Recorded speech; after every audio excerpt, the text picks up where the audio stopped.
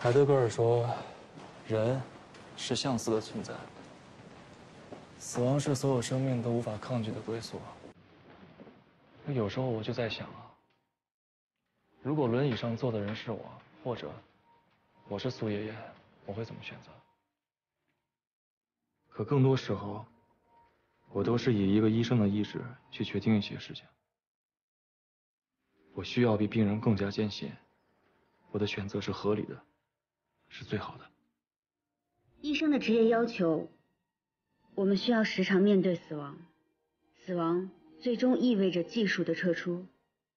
撤出前是否应该做最后的顽强抵抗？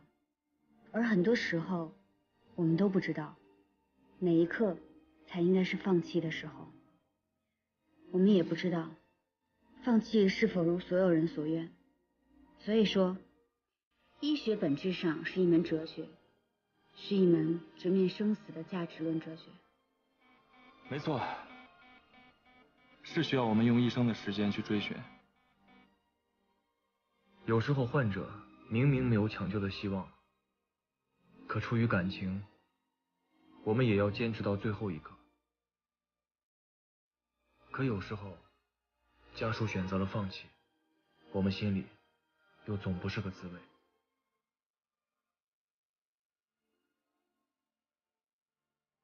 虽然人总有终老的一天，但生命交替，因为有情感的输出而生生不息。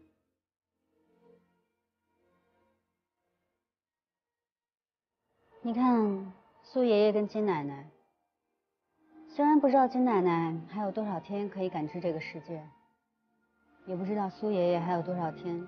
能够清楚的记住那些回忆，